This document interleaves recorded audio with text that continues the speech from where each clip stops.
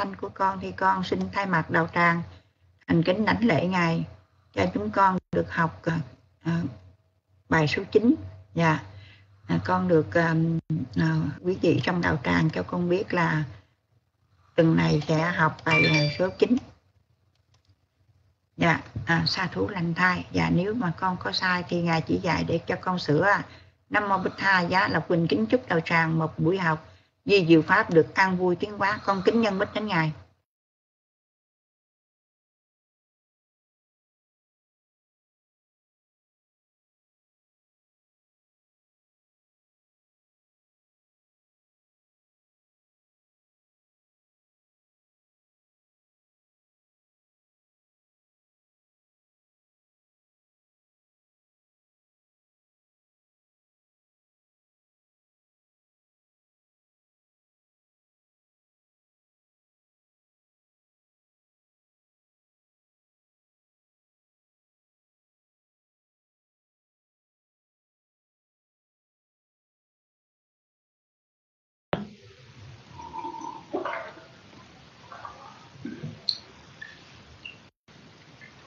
Nam mô bổn thầy nha.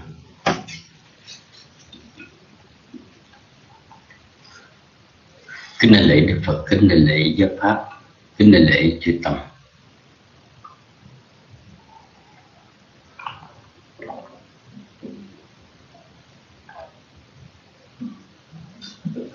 thân chào tất cả quý phật tử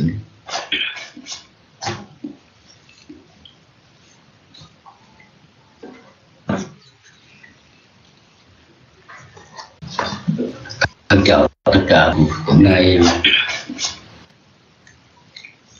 chúng ta sẽ học về cuốn bài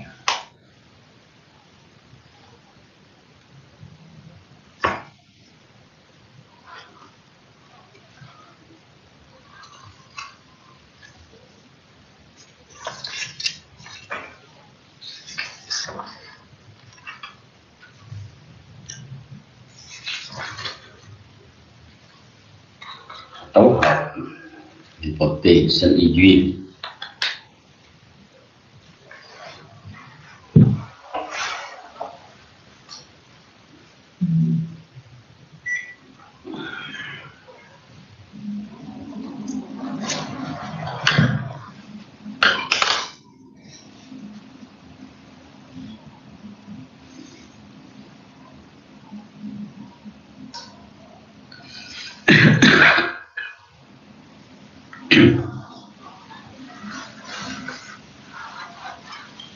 ở trong đời sống chúng sanh có ngũ uẩn tức là 11 cõi dục giới và 16 cõi và 15 cõi sắc giới hữu tưởng. 26 cõi ngũ uẩn đó. Là cái, cái pháp nó sanh nó, nó có cái nhân cái duyên của nó. Ờ, mà pháp diệt á danh cái duyên sắc nó diệt á thì các pháp nó diệt. Có à, thầy tôi là phật thích ca. Cái sự tương quan với nhau. Có ngũ nếu không có sắc sắc pháp. Thì danh pháp không có cái chỗ nương tựa. Cũng như nếu không có danh pháp thì sắc pháp không thể à, tồn tại. Không thể tồn tại được.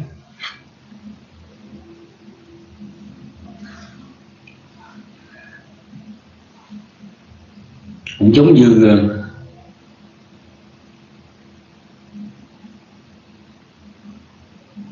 cây nó nương vào mặt đất mà nó mọc lên và nó phát triển nhanh lá nhưng ngược lại, mặt đất mà không có những cái tàn cây che mát thì mặt đất nó trở thành khô cằn và chai đi.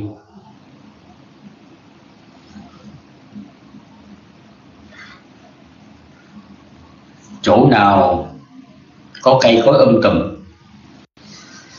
Thì đất ở chỗ đó, nó ẩm ướt và nó có sự sống. Và ngược lại, nhờ đất ẩm ướt có cái sức, có cái cái màu sống, cho nên cây cối mới đường phát triển được. Cũng như thế đó. Trong đời sống bình nhật thì ờ,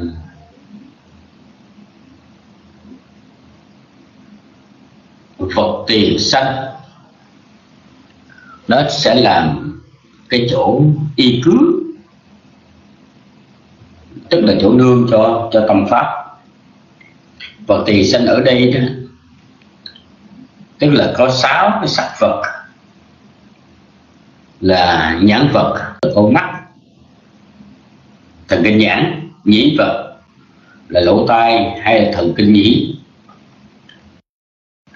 là lỗ mũi hay thần kinh tý thiệt vật là lưỡi hay thần kinh thiệt, thân vật là tế bào thân hay thần kinh thân. Và ý vật ở đây, tức là sắc nghiệp trái tim, hay là tiểu cầu não.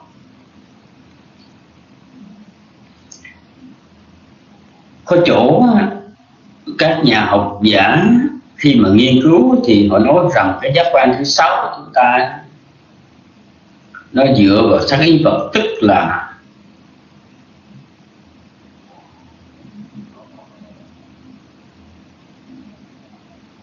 bán phụ não. Nhưng mà có những vị thì họ cho rằng hai đa dấu thú ở đây, tức là sắc nghiệp nương trái tim. Cả hai cái giả thuyết đó họ đều có một cái lập luận cũng hợp lý nhưng mà ở đây đó, thì ở trong uh, bộ bát thanh đá, đức phật ngài không chỉ cho mắt lung gân là óc não, mà cũng không chỉ cho cái trái tim Hadayam mà cái chữ Hadaya thú ở đây Hadaya là tâm. Tâm cũng có nghĩa là cái tim, nhưng mà chữ Hadaya có nghĩa là tâm tạng. Là để chỉ cho tâm thức. Vì vậy cho nên Đức Phật này xài ngài dùng cái cụm từ ngài dùng cái cụm từ là dân rupang chia chetaska chitta chetaska thamma upachaya hai vật thù. Tâm và tâm sở. Hay là mano thatu mano vinyana thatu yo upachanti yang nisya rupang. Yang rupang nisya hay là giao thùng ý giới và ý thức giới nương sắc nào mà nó sanh được? Do nương sắc nào mà ý giới ý thức giới sanh được, thì sắc đó được gọi là ý vật, hay là do thuốc cho nên ở đây chúng ta không có xác định được, mà chỉ xài theo ý nghĩa của Đức Phật. Bởi vì có một số loài sinh vật, nó không có bộ não Mathaluga một số loài sinh vật như côn trùng, nó không có sắc cái tim nhưng mà nó vẫn có tâm thức. Thì tâm thức nương vào sắc nào ở trên da, trên thân của nó, thì cái giới ý thức giới đó được gọi là hay là do thuốc gì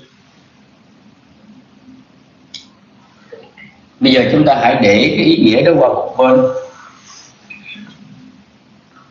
Chúng ta sẽ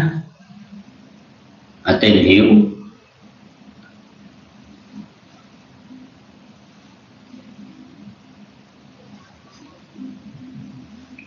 cái vật tiền sanh y duy đó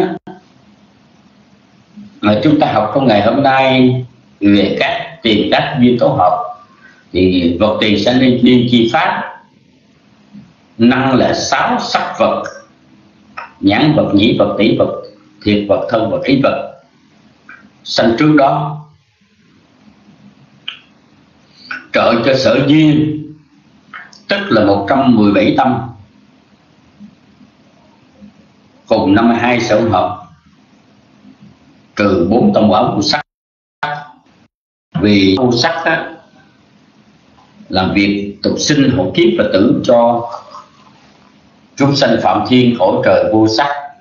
Arupa luka khổ đó không có sắc pháp. Cho nên năm bốn bốn cái tâm quả này không có đường sắc.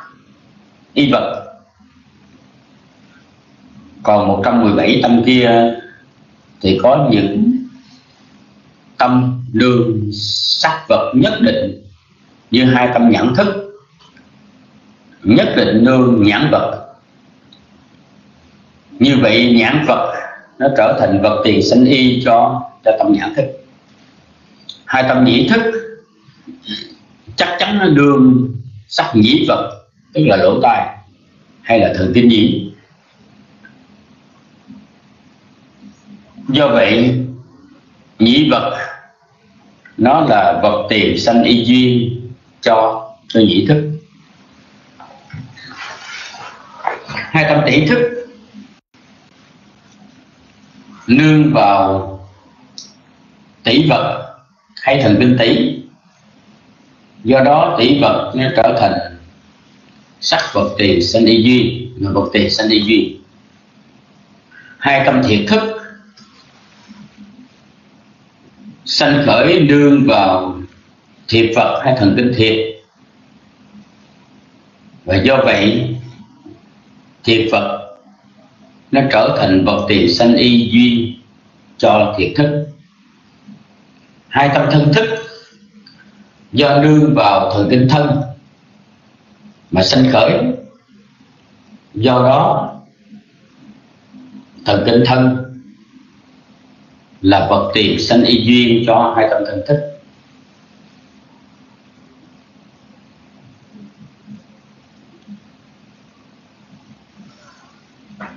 y giới, tức là hai tâm tiếp thôi, tâm thêm ngôn môn chắc chắn nương vào y vật, nên y vật trở thành vật tiền sanh y duyên cho y giới hai tâm sân, tám tâm đại quả.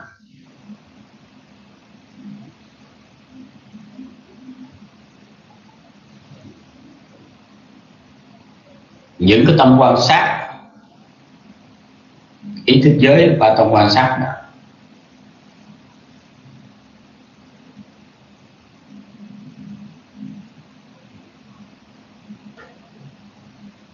Mười lăm tâm sắc giới.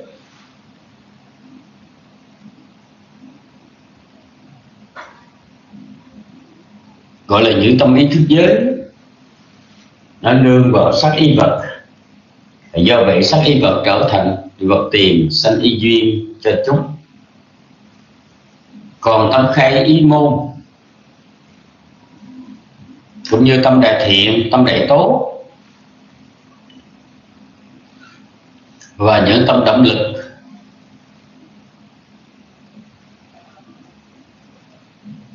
Vô sắc tâm động lực vô sắc giới.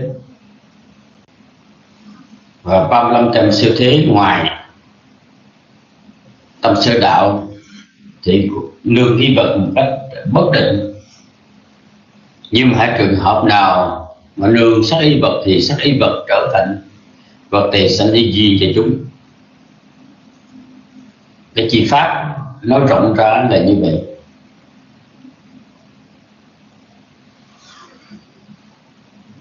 Thì chúng ta dựa vào cái chi pháp này chúng ta thấy rằng vật tiền sanh y duyên trợ cho tâm và tâm sở. Trong tâm và tâm sở đó có tâm thiện, có pháp bất thiện, có pháp phù ký.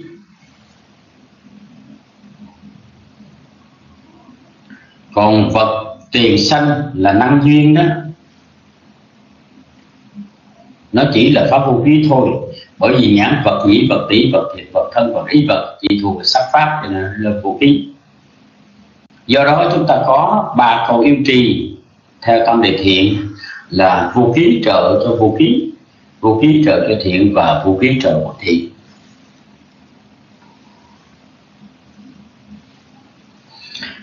Bây giờ chúng ta lại tìm cái duyên tổng hợp với vật tiền sinh đi duyên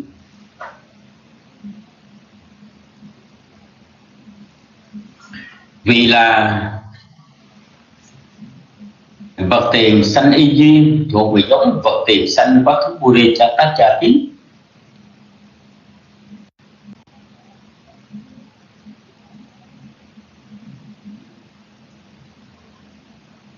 cho nên, có bốn duyên thuộc giống vật tiền sanh.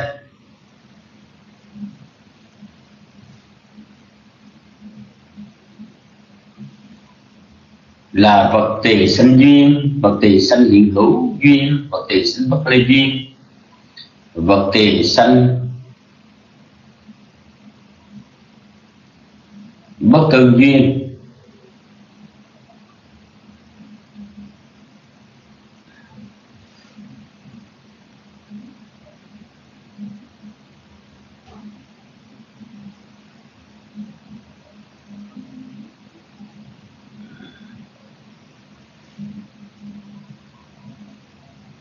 Đó là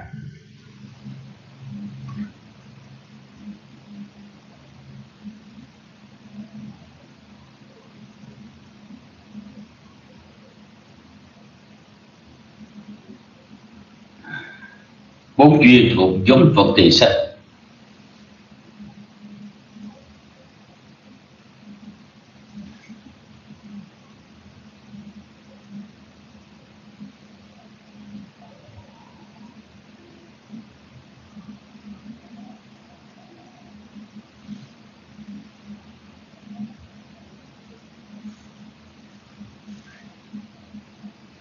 Ngoài ra thì có ba duyên thuộc giống cảnh. Nó cũng có một phần tổng hợp với vật cảnh tỳ sinh duyên. Đó là trường hợp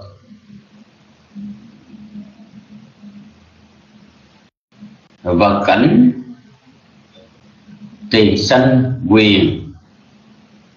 Vật cảnh tiền sanh và cảnh tiền sanh trưởng tưởng duyên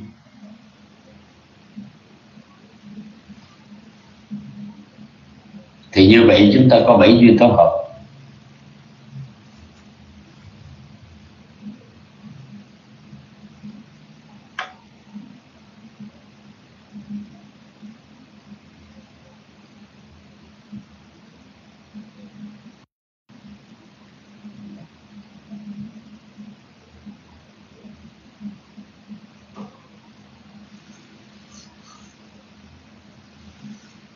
Thì như vậy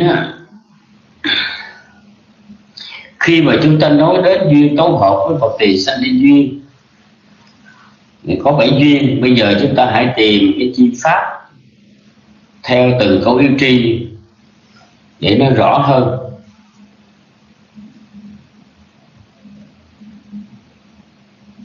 câu yêu tri thứ nhất là vật tiền sanh y duyên, vô ký trợ vô ký chi pháp là sáu sắc vật trợ cho 48 tâm quả từ ngũ gạo nguyên sắc. 20 tâm tố cùng 38 sở hợp.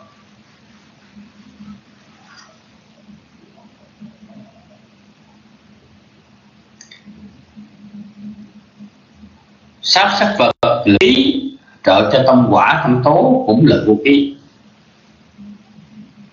lấy chi pháp này chúng ta có sáu duyên tổ hợp. Trước hết là vật tiền sanh duyên.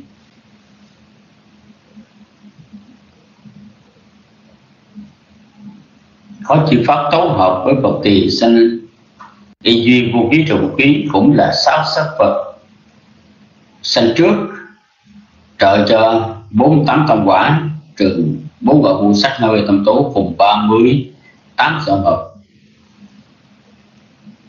thì như vậy, khi chúng ta nói đến vật tiền sanh duyên, vật tiền sanh hiện hữu duyên, vật tiền sanh bất ly và vật tiền sanh đơn duyên, bốn cái duyên này nó đều có chi pháp giống như là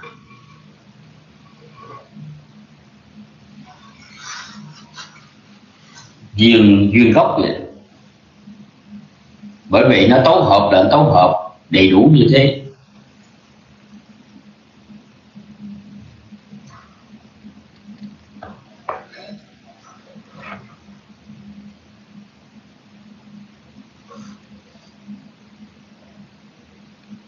Còn khi mà chúng ta nói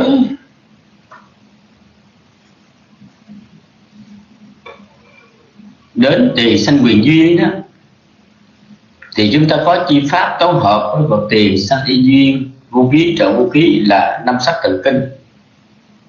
Là nhãn quyền nhĩ quyền tỷ quyền thị quyền thân quyền. Năm sắc thần kinh đó là năm sắc quyền năm thần kinh đó, trung thọ nó cũng là năm vật nhãn vật nhĩ vật tỷ vật thiện vật thân vật trợ cho ngũ sinh thức cùng bảy sở hợp.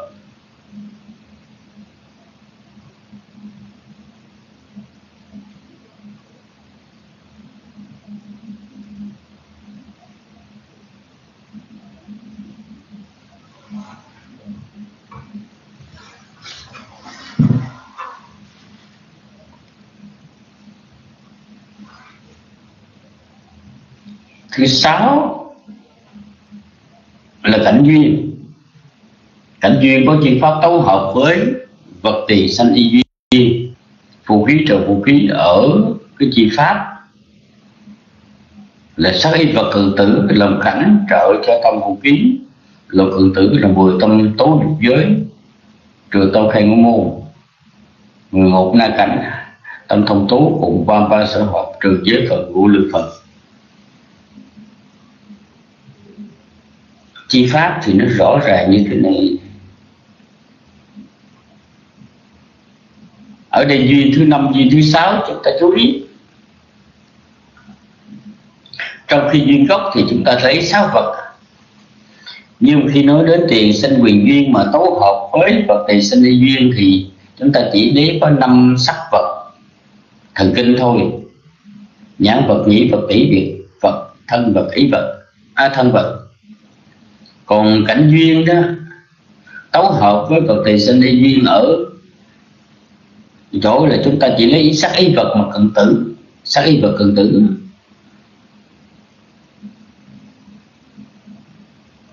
Làm cảnh trợ cho tâm vô cận tử.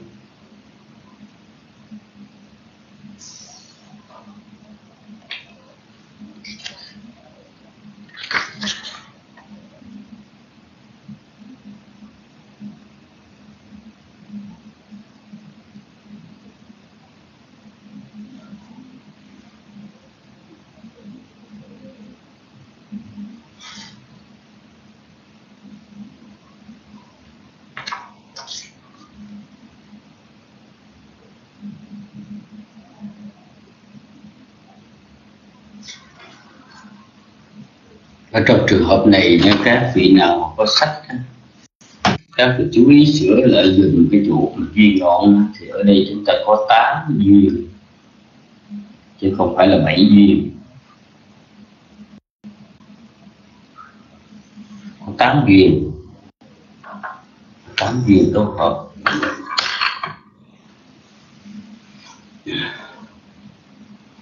Ghét của nào trời trời của đó? Chúng tôi bực nhất á, bực bội nhất là sách in sai. Nhưng mà tránh run khỏi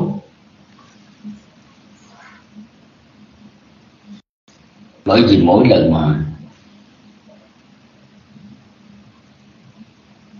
sửa cái bản của mình đó thì sửa được nhưng mà sửa tới hai ngàn bản in đó, thì mệt lắm thưa quý vị cho nên ai có thì nhớ. Nhưng mà đừng có thay đổi nhiều. Thay đổi quyển sách này sang quyển sách khác. Hãy thấy cái cũ cũ, cái đi thịt đi thịt cái mới thì cái mới, nó không sửa được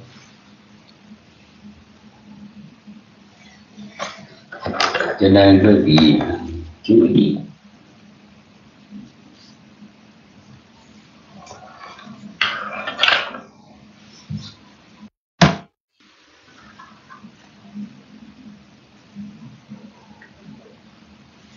Bây giờ chúng ta sẽ bước qua cái câu ý trì thứ hai. Câu ý trì thứ hai là phật tỳ sanh y duyên vô ký trời cho thiện. À, chúng ta nhớ cái pháp thiện đó nó thuộc về ý thức giới. Cho nên cái vô ký năng duyên ở đây đó chỉ là lấy sắc y vật thôi.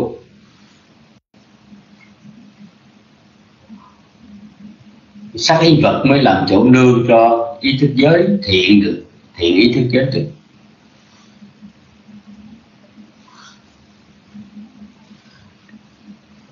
Tức là chỉ cho sắc y vật sanh trước trợ cho ba bảy tâm thiện cùng ba tám sanh hợp.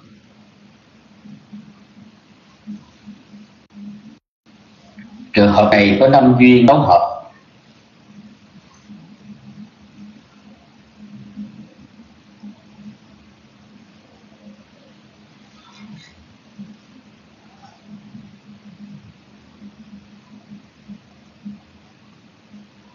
Là vật tỳ sanh duyên, vật tỳ sanh hiện hữu duyên, vật tỳ sanh bất tùy duyên, vật tỳ sanh bất tự duyên. Cảnh duyên.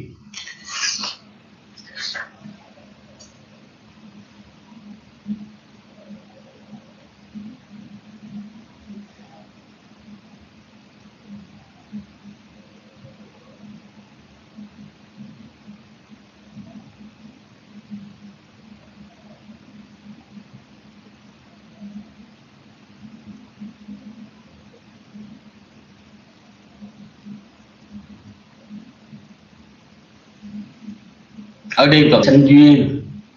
Vật tỳ sanh hữu hữu duyên vật tiền sanh bất ly duyên vật tiền sanh bất tương duyên. Nó tấu hợp với vật tiền sanh y duyên vô ký trợ thiện. Có chi pháp là sắc sắc y vật sanh trước, trợ cho ba bảy tâm thiền cùng ba tám sẽ hợp.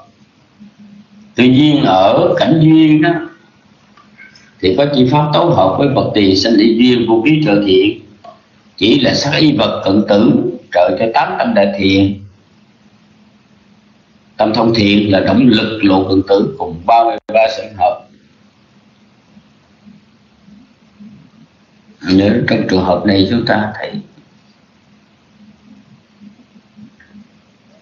nó cũng dễ hiểu chứ không phải là khó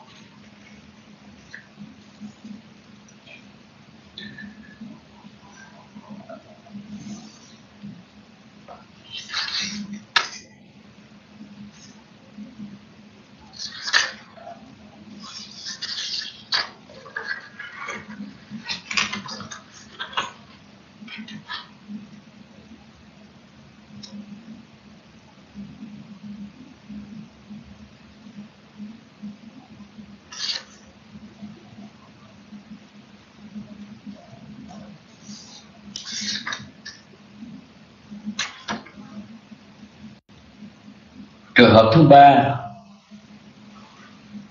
là câu yếu tri. Vũ khí trợ cho bất thiện bằng vật tiền sinh ly duyên. Trường hợp này, vũ khí năng duyên là sở ý vật sanh trước, còn bất thiện sở duyên là 12 ta bất thiện cùng 27 sinh hợp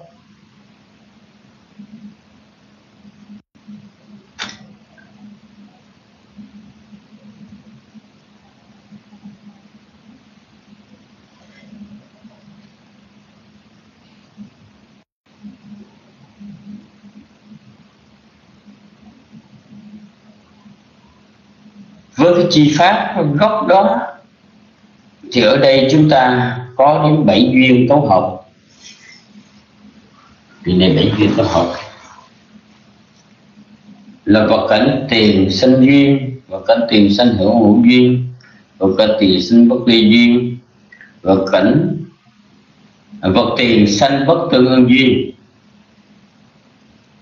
Vật tiền sinh duyên, vật tiền sanh hiện hữu duyên, vật tiền sanh bất ly duyên, vật tỳ sanh bất tương duyên. Năm, cảnh duyên. Sáu, cảnh thượng duyên. Và bảy, cảnh cận y duyên. Thì ở đây đó, thì vật tiền sanh duyên, vật tiền sanh hữu hữu duyên, vật tiền sanh bất ly duyên, vật tiền sanh bất tương duyên.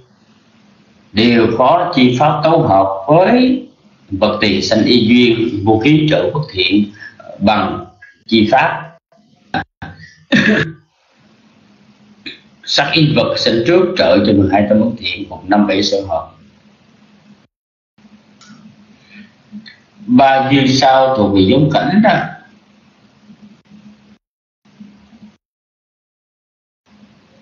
Có. Cảnh duyên, cảnh trưởng duyên và cảnh tận duyên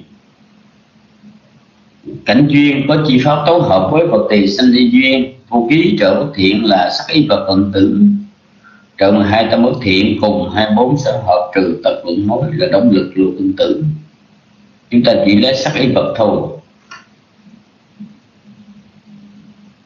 Nhưng mà ở đây là cảnh cho nên y vật vận tử. Chứ không có lấy sắc y vật về nhật. Cảnh trưởng duyên, cảnh cận y duyên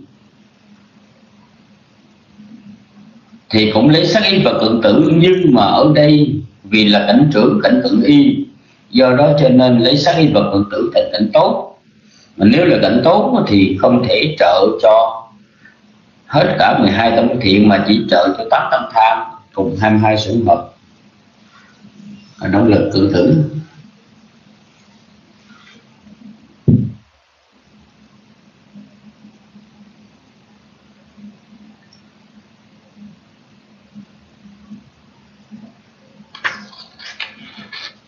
Như vậy thì ở đây đó quý vị thấy trong cái ờ, câu một vũ khí trợ vũ khí câu hợp vũ khí trợ vũ khí thì có sáu duyên. À, tấu hợp với vật tiền sanh y vũ khí trợ thiện thì có năm có năm duyên. Mà tấu hợp với vật tiền sanh y duyên vô ký trợ bất thiện thì chúng ta có bảy duyên. Năm sáu bảy. Như vậy tại sao mà ở trong cái duyên ngọn chúng ta tới tám? Thì đây xin thưa rằng là tại vì uh, khi nói đến vô, vô ký bằng vật tự sanh đi duyên thì chúng ta có tiền sinh quyền duyên. Là năm sách từ kinh trợ cho ngũ xuân thức, vô bí trợ vô bí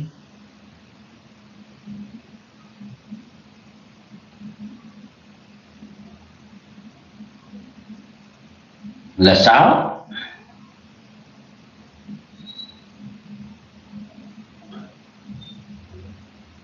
Trong khi đó đó vật từ sanh lý duyên mà vô ký trợ thiện thì chỉ có năm duyên tố hợp là bỏ vật tỳ sanh à, vật bỏ bỏ tiền sanh quyền ra thì còn năm.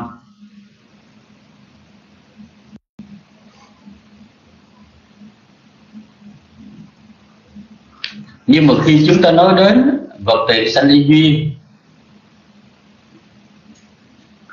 vô ký trợ bất thiện đó thì ở đây vì là vô ký trợ bất thiện mà chúng ta lấy giống cảnh tấu hợp đó, thì có có cảnh tự duyên cảnh cận y hai duyên đó, đó chúng ta thêm vào thành ra bảy. Mà trong khi chúng ta đã bị ra tiền sanh quyền là thành ra tám. Nếu nói tổng quát là tám tám duyên cả cho nên vị nào có cái bản sách, có quyển sách ờ, thì cái chỗ này, chỗ mình chuyên ngọn bài số 9 duyên ngọn chúng ta nói có tám duyên tổng hợp với vật tiền sinh duyên.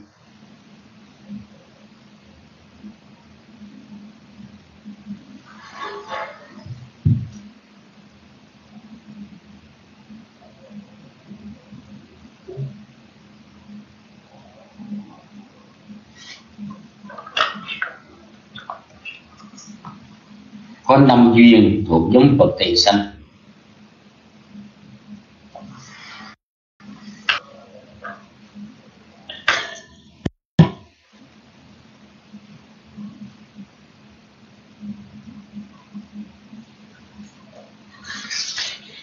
Thì như vậy nhá, cái vật tiền sanh y này chúng ta chỉ có ba câu yếu trì thôi. Với ba câu yếu trì đó thì uh, chúng ta tìm duyên tổ hợp. Nó có những duyên thuộc về giống vật tiền sanh trụ giống cảnh. Như vậy thì chúng ta đã tính toán xong rồi.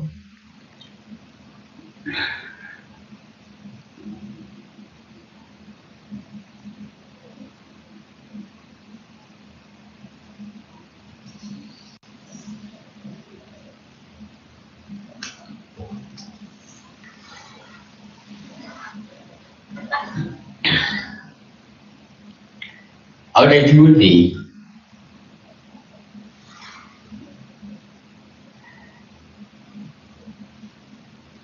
trong đời sống bình nhật của chúng ta mặc dù chúng ta nói rằng nhãn thức nương vào nhãn vật thì sanh, gọi là vật tiền nhãn vật tiền sanh y. Duyên nhĩ thức, nương nhĩ vật tỷ thức, nương tỷ vật thiệt thức, nương thiệt vật thân thức, nương thân vật. Và y giới, y thức giới, vô ký, nương ý vật, gọi là pháp vô ký trợ vô ký. Chúng ta tưởng chừng như là vô thưởng vô phạt nhưng mà thực tế nói theo kinh tạng đó, thì đức phật này gọi chúng ta dạy chúng ta phải thu thúc à, các căn. Bởi vì khi mất cái cảnh sắc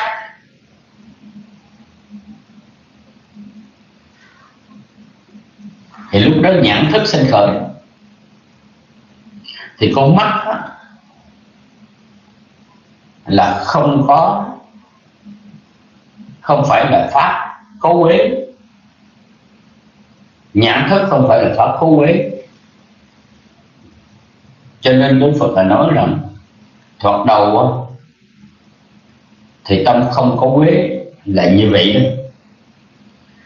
Nhưng mà vì tiên diễn với vì não do không khéo tác ý, nên cái giai đoạn mà đóng lực đó, trong cái lộ tâm nhãn thức bất cảnh sắc thì cái giai đoạn mà khai ngũ môn nhãn thức, hoặc tỷ thức, hoặc thiệt thức, hoặc thân thức, rồi tâm tiếp thu, tâm thẩm tấn, tức là tâm quan sát, thì nó là không ô nhiễm bởi vì đó là pháp vô ký. Nhưng mà bắt đầu chặn động lực trong quá nó tích tác. Tức là có thể là động lực tham, động lực sân, động lực si. Động lực tham tức là nó đắm nhiễm tính sắc tính tinh khí bị xúc. Còn động lực sân thì nó bực bội, nó dị ứng với tính sắc tinh khí bị xúc. Cảnh khí à, cái, cái tâm si động lực si thì nó lại mờ ám u tối đối với cảnh sắc tinh khi bị xúc không thấy rõ cái pháp thực tính. Cho nên ở đây ở tâm trì bộ kinh mà có một lúc chúng ta đã học qua đó thì đức phật này nói rằng tâm vốn thoạt đầu là trong sáng, nhưng mà sao nó bị tiêm nhiễm bởi phiền não, cho nên nó trở thành cấu uế là ngài muốn ám chỉ cho, khi mà vật tiền sanh y duyên, trợ cho nhãn thức nhĩ thức tỷ thức thiện thức, thân thức vậy giới ý thức giới quan sát và ý thức giới khai ngũ môn, khai ý môn, thì cái đó là công sáng nó chưa có tội lỗi gì. Dầu cho một thánh tu đồ quần thánh hữu học hoặc là thánh vô học bậc a la hán thì khi mà thấy nghe ngửi đến đụng thì cái giai đoạn tâm diễn biến lúc ban đầu cũng là như vậy. Nhưng mà nó khác nhau ở chỗ là cái giai đoạn tâm động lực, bảy cái tâm động lực đó. Chúng ta tu tập là tu tập ở chỗ đó. Tu tập như thế nào? Tức là ở đây, bắt đầu từ cái giai đoạn mà động lực sanh khởi, cái tâm động lực mất thiện, nó nương sắc ý vật đó bằng cách là vật tiền sanh đi duyên đó, thì cái giai đoạn đó là cái giai đoạn tâm có quế chúng ta phải loại trừ, chúng ta phải khống chế nó khi thấy, khi nghe, khi ngửi, khi nếm, khi đụng, thì lúc bây giờ, cái động lực sanh khởi để mà nó sự để mà nó xử lý cảnh sắc, cảnh thinh cảnh khí, cảnh vị cảnh xúc, cảnh pháp, thì cái động lực đó chúng ta phải cố gắng quân tu, cái tác ý như thế nào để cho động lực thiện sanh khởi tu là tu ở chỗ đó, thu thúc là thu thúc ở chỗ đó. Chớ cái nghĩa gọi Indriyat Samvara Sila tức là cái giới thu thúc lục căn đó, không thể mà chúng ta nói rằng là phải nhắm mắt lại. Không không thấy, không nghe, không ngửi, không đến, không đụng, không nghĩ, không phải vậy cái chuyện mà chúng ta thấy có mắt, thấy cảnh sắc tay nghe tiếng, mũi mùi, lưỡi tiếng vị thân xúc chạm ý suy nghĩ, cái đó là cái chuyện rất là bình thường. Cái chuyện đó gọi là chittaniya tức là tâm cố nhiên tức là cái quy luật của tâm phải là như vậy. Thì cái giai đoạn đó là giai đoạn không cần phải gì tu tập. Nhưng mà do thấy, do nghe, do ngửi, do đến do đụng. Do nhãn thức và cảnh sắc, nhĩ thức và cảnh thinh tỷ thức và cảnh khí. Thiện thức và cảnh vị, thân thức và bất cảnh xúc. Và bây giờ ý thức giới bất thiện đó, nó sanh khởi thì nó sẽ gây nên hậu quả nắm cay và nếu ý thức giới thiện sinh khởi, thì trường hợp này là chúng ta thấy được à, chúng ta có kết quả tốt. Cũng như trong bài kinh đế thích sở phấn mà chúng ta học ở trường bộ kinh vừa rồi thì ở đây đức trời đế thích hỏi đức phật vì tỳ kheo phải thực hành như thế nào để à, thu thúc các căn? Thì đức phật ngài nói rằng, khi thấy cảnh sắc, nghe cảnh thinh, vân vân cảnh sắc có hai loại. Một loại nên thấy và một loại không nên thấy. Cảnh thinh có hai loại, một loại nên nghe loại không nên nghe vân vân. Như thế nào là cảnh sắc thân khi bị xúc nên? Và thế nào là sắc thân khi bị xúc không nên? Thì ở đây cái phật nói rằng, khi thấy cảnh sắc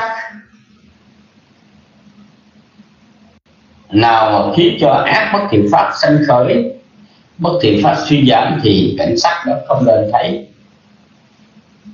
còn khi thấy cảnh sắc thì cảnh sắc đó nó trợ cho cái tâm thiện sinh khởi, làm cho phát hiện tăng trưởng, bất thiện khác suy giảm thì bất thiện đến. Nơi nên thấy cũng vậy nên thân những khi định vị cảnh xúc bệnh pháp. Như vậy khi mà chúng ta học về vi diệu pháp, học duyên hệ đó,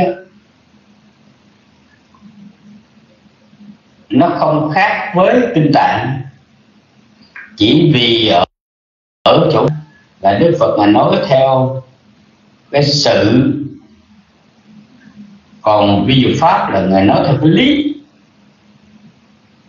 hay nói cách khác tức là ở kinh tạng thì nói theo cái, cái nghĩa thưởng thức trong đời sống bình nhật còn ở trong ờ, vi pháp thì nói theo cái nghĩa pháp thực tính, hay pháp chân đế.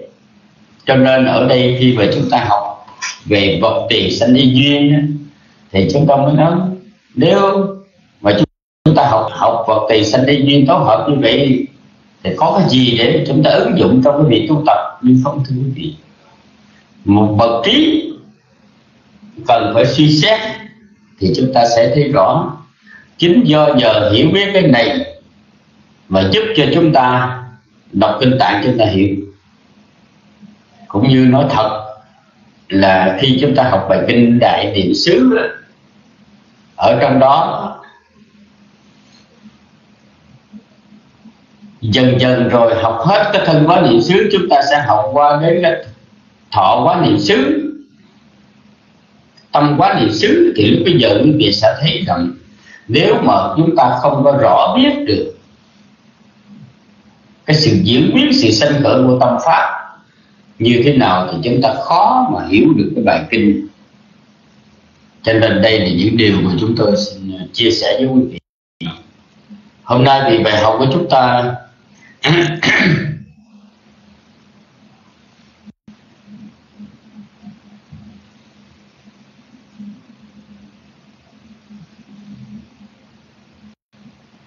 à, như hảo có hỏi cái tác ý à, thành lộ. Tác ý thành lộ đây là cái tên đó chỉ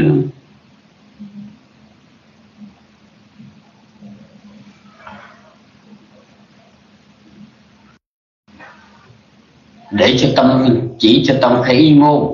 Khế môn ở trong lỗ ý thì nó là tác ý thành lộ. Nó là tâm khai môn còn ở trong lộ ngũ thì thay vô nó đóng vai trò thông đoán, cho nên nó gọi tác ý thành thực. Như vậy thôi, thành thực, thành cháu quánh nát thành động lực đó. Cái tên đó, nó là gì? Thì trở lại là vì bài học hôm nay ngắn quá, cho nên là chúng tôi đã nói thêm về cái ý nghĩa liên quan đến kinh tạng mà chúng ta đã học bây giờ thì vừa đủ với thời gian. Xin kính thỉnh ờ, uh, thượng tọa minh hạnh quan hỷ chúc phúc phước báo rừng rừng để chúng ta trở qua rừng lớp Phật pháp của Thánh Tâm Nam Mô Bổn Thầy nhé.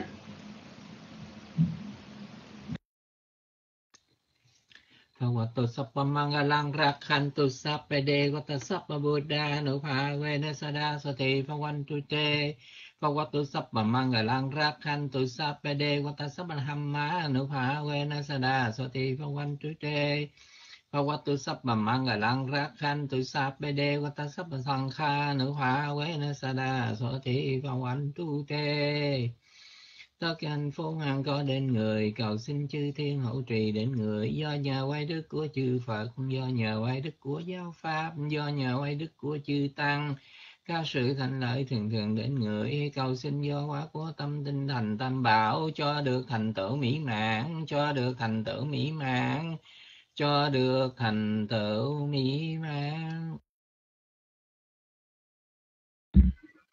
Dân sa thú sa thú lần hai chúng con kính tri ân, thường tọa minh hạnh.